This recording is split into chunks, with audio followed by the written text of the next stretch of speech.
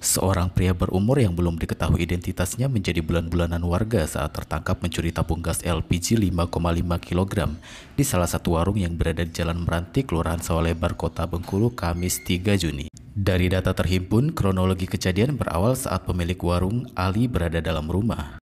Kemudian pelaku yang menggunakan sepeda motor diduga telah mengintai dan memanfaatkan situasi warung yang sedang sepi saat pagi hari.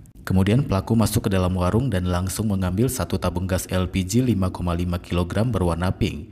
Namun hal tersebut diperkoki oleh korban. Tabung gas ayo koyo. Sekali ini baru ketahuan sama aku. Oh bisa tahunya mana Dia dari tahu, tahu tadi saya keluar.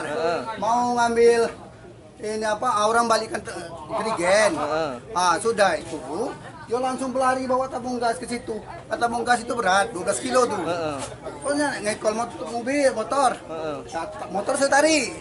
Oh, Dia baca langsung tinggi dia. sempat nak kabur ya, Pak? Iya, sempat mau kabur tuh. Iko lah berapa kali, Pak? Hilang, Itu dengan kawan udah sekali, tapi saya udah empat kali kehilangan. Empat kali, Pak, ya? Ya, burung murai saya kemarin. Oh, burung juga ya, Pak? Burung juga pernah kehilangan sih.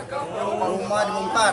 Cuma dibongkar. Ya, kemarin kok pak duit hilang juga. Berarti tadi lagi sepi, Pak, ya? Ya, pas tadi ya? betulan sepi tadi. Oh. Dia ngaku tadi apa, Pak? Eh, dah, katanya pu- punya sayo itu, tapi sayo itu nengok. Tabung aku cari yang ambil itu. Nga- ngaku orang saw lebar ya, Pak? Dia ngaku orang sama lebar katanya. Pelaku kemudian mencoba melarikan diri, namun dapat ditangkap oleh korban dan warga sekitar sehingga pelaku langsung menjadi amukan warga sekitar.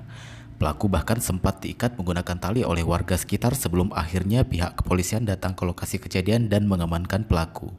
Feby Almasdito melaporkan dari kota Bengkulu.